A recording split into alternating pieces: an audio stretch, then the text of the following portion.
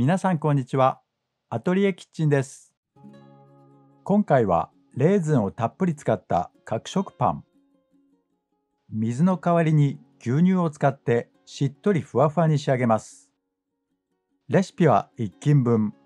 蓋を外せば山形の食パンにもなります。レーズンを 150g。生地を作る前に熱湯に20分つけます。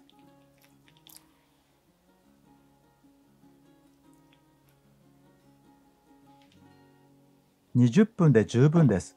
水分はしっかりと拭き取ってください。次は生地を作っていきます。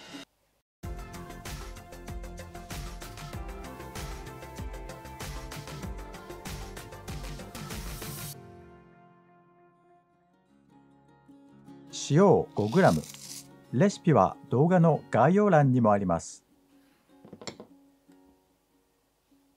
この動画では生のイーストを使っています。ドライの場合は半分の 3g になります。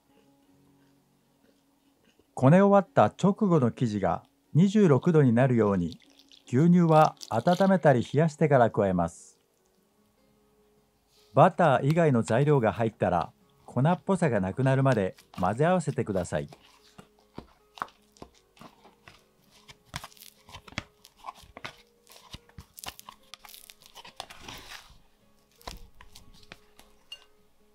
粉っぽさがなくなったら台に移して手でこねていきます。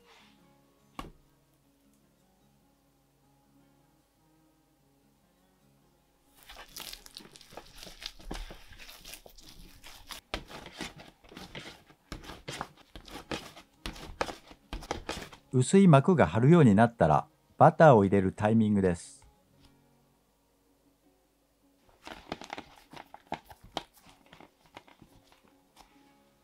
無塩バターを 25g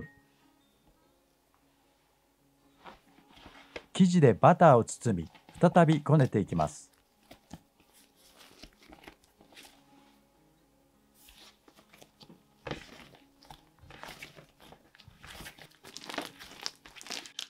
バターがはみ出してきますがこねているうちにまとまってきます。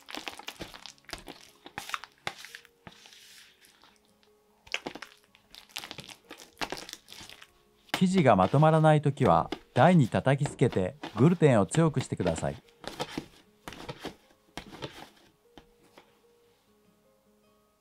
生地を薄く伸ばしてみて指が透けて見えるくらい薄い膜が張ればこね上がりです。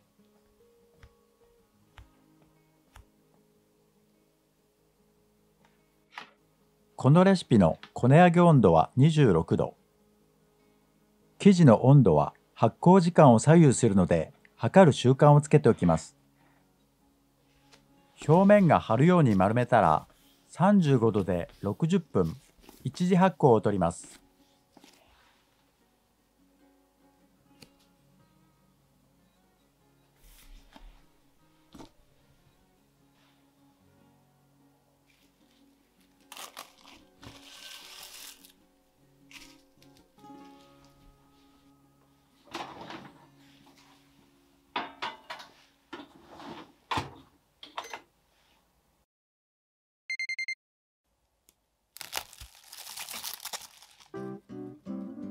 指先に粉をつけて発酵の状態を確認します。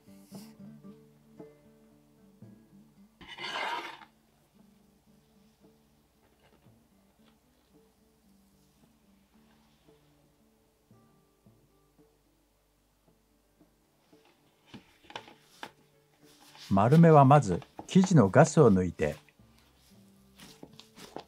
レーズンを加えながら三つ折りを2回繰り返します。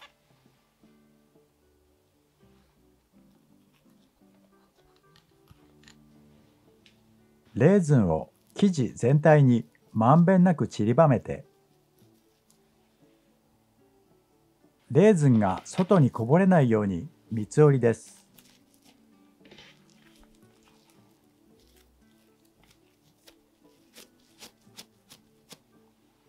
90度回転させて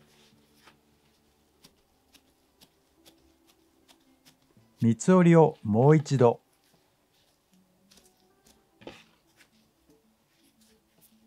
丸めが終わったらベンチタイムを20分取ってから成形します。強く絞った布巾をかけて生地を乾燥から守ってください。ベンチタイムの間型にバターを塗っておきます。成形に入ります。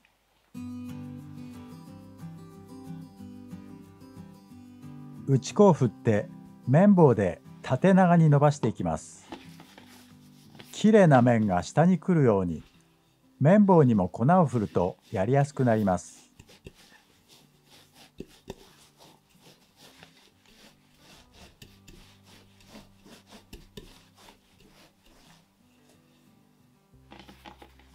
生地の上と下を真ん中に持ってきます。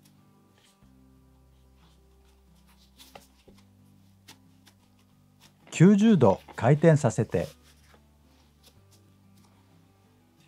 ここではガスを抜きながら平らにします。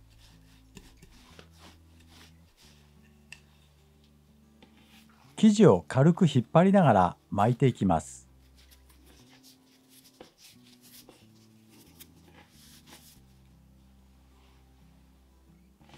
閉じ目をしっかり閉じて型に移します。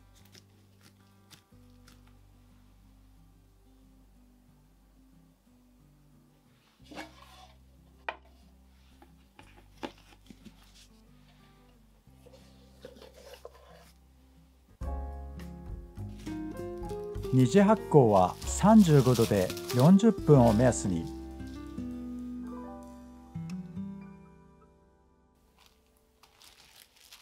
発酵は型の高さの8割程度です。発酵の進み具合を見ながらオーブンを予熱しておきます。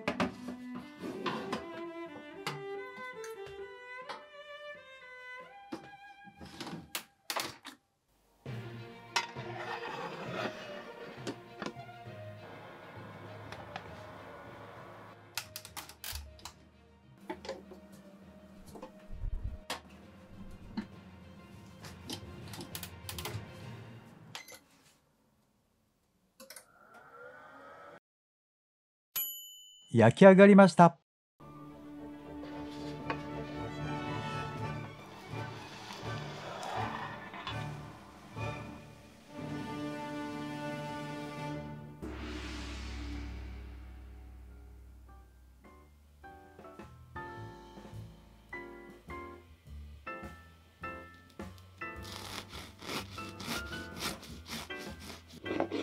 レシピが気になる方は動画の概要欄にもあります。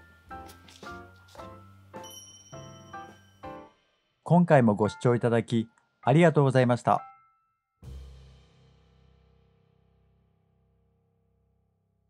次回のアトリエキッチンは